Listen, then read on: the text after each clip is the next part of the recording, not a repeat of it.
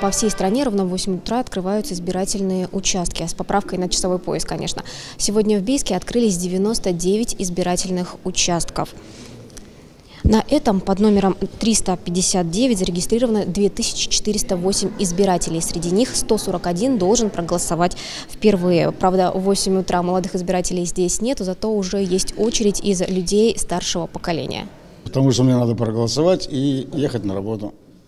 Меня там напарник ждет, позвонил вчера, сказал, что подожду, пока проголосуешь. Потому что необходимость такая у меня. Я бы пришла позже, может быть, на час. По-другому я не могу. На сегодняшний день так. Выборы президента – день особый. Практически на каждом избирательном участке для избирателей подготовлена программа развлечений. Лилия Владимировна, расскажите, что здесь будет?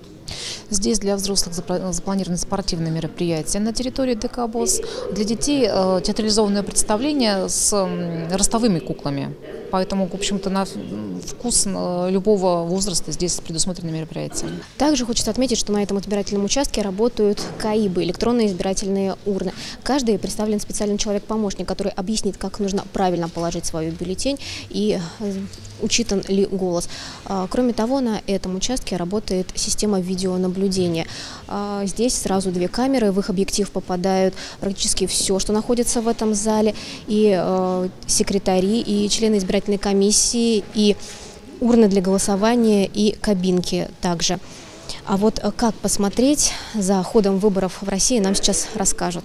Можно наблюдать за каждым участком, нужно зайти на сайт ЦИК и там а, найти вкладку «Наблюдать», зайти и там вбить номер участка и можно смотреть онлайн.